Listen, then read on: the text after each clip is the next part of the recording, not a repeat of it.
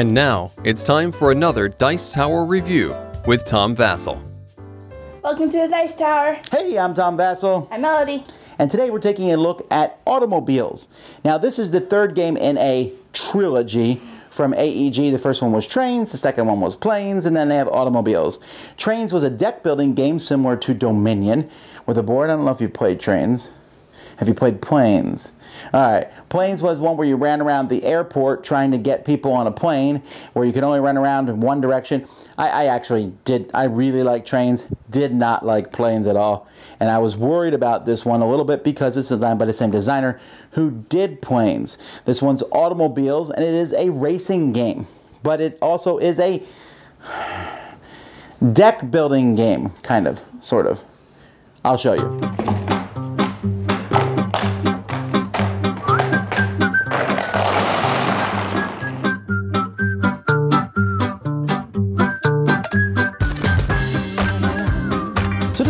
Racing game.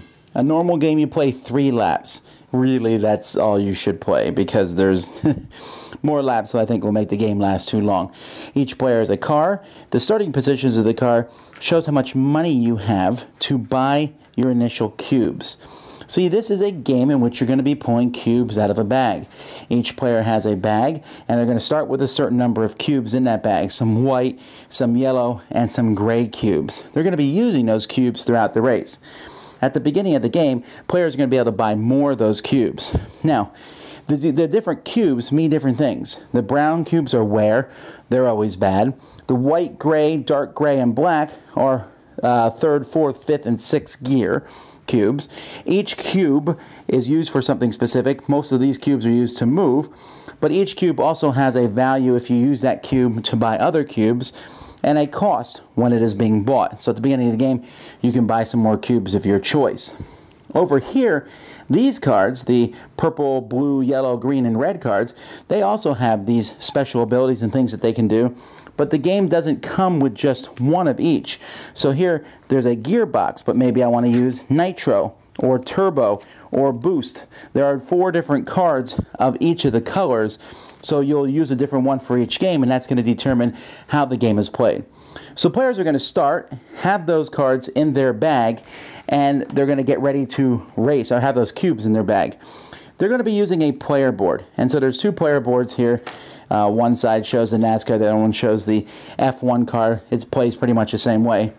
You're going to have seven cubes that you're going to be pulling from your bag. So let's say, for example, I pull three white, two yellows, and two grays. These dice go in my active pool. Now I can save some of these dice to spend and buy other, I mean save some of these cubes to buy other cubes, or I can use them. So let's say I want to use the white cubes and the gray cubes. For those, I'm going to be moving on the board. So let's say I'm the green car and I want to move. So I have some whites and grays. Now you'll notice here that there's four different color spaces on the board. There's white spaces, light gray, dark gray, and black. The black space, this is one space. The dark gray, that's two spaces. The light gray, one, two, three, four. And the white, one, two, three, four. So you can see if you stay in the inside lane, you're going to be going much slower.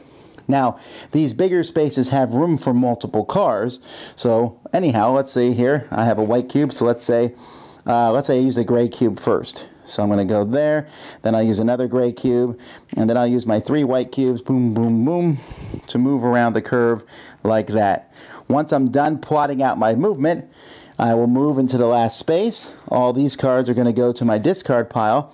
And then I'm going to look at the highest color I've gone through. I went through light gray, so I'm going to add two wear cubes to my discard pile because I went through the light gray. And then it's the next player's turn. Now, but before their turn, I also have these yellow cubes. In this one here, I can remove a gear cube from my discard pile and gain a gear cube of one gear higher. Well, since I haven't put everything in my discard pile yet, you don't do that to the end of the turn, that's not worth anything to me. But let's say I had already gone and there were some cards here. Like, yeah, I'll switch out this light gray for a dark gray cube.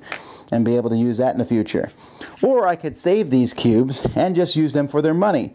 I look on the yellow cube card, they each are worth two, so I have a total of four dollars to spend. So I decide that I'm going to buy this, a black cube, since it costs four dollars. So I take a black cube and stick that in my discard. once I'm done, all the, the cubes that I've used go from use to discard.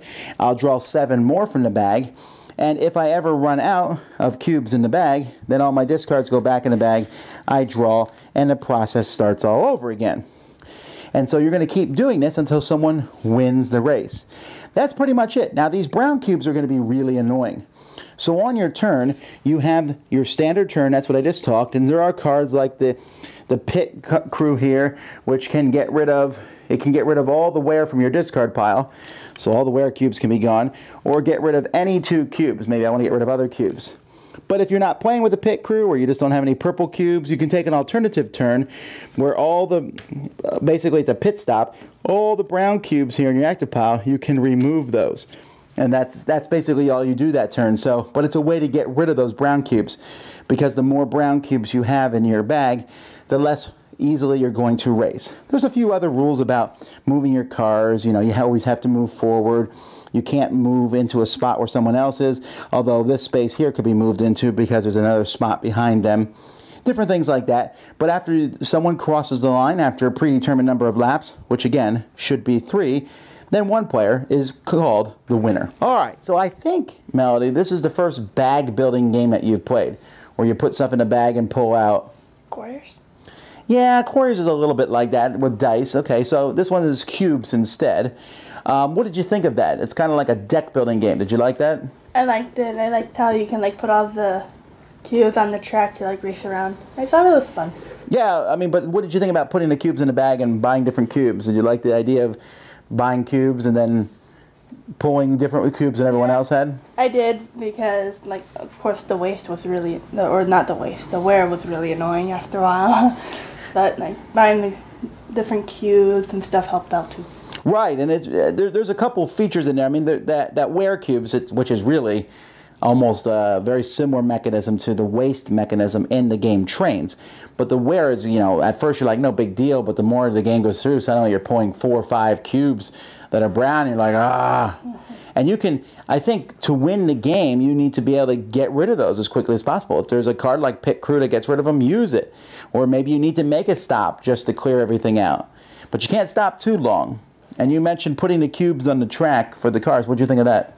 Sometimes um, you could get like really lucky, like because I started in last, and then I got like I drew like seven cubes, and they're all uh, the driving ones. So I just went zooming around because I was able to put them on. But it is interesting, you know, black cube is the best one. You can go the fastest, but there's only one space on each side of the board. So having a pile of black cubes in your set isn't really going to help you. And having a whole pile of white ones, you know, that means you can always move, but at the same time, you're not going very far. So you need kind of a good mix. And I, I enjoyed that. It gave the idea of shifting up and down around the track without a whole lot of cerebral thought, just basically putting them out. I also like the idea of how whenever you um, farther out went, like on the darker colors, um, the more waste you got. It made sense, and I thought that was cool. I should mention that I showed you the track here, which is the Grand Prix, but on the other side, there is another track, so you can have two different tracks, the Monza track. Um, this track is a little bit different, and it plays differently because it has the two black ones next to each other, um, and then has the dark gray around the rest of it. So this has a somewhat different feel. But I also like that the game has different feels based on the different red, green, yellow, blue, and purple cubes. You know, maybe this time the green is nitro or turbo, and they do different things.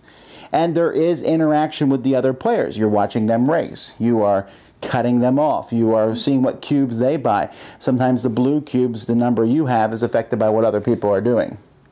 So overall, what do you think of it? I really like the game, and um, I actually want to play the other side of the map now. Yeah, I, I, I really like, actually, I like both sides of the map. I, I, I think that the, it looks a little stark. All right, there's just some cars and cubes. I mean, it, uh, it might have looked nicer with nicer cars and things. The cubes, you know, look a little boring maybe when you pull them out, but the game works well. It's functionally a, a very solid game. I certainly like it better than planes, and I almost think I'd rather play this than trains That because never- this feels different. That you're never gonna really play with seven laps either.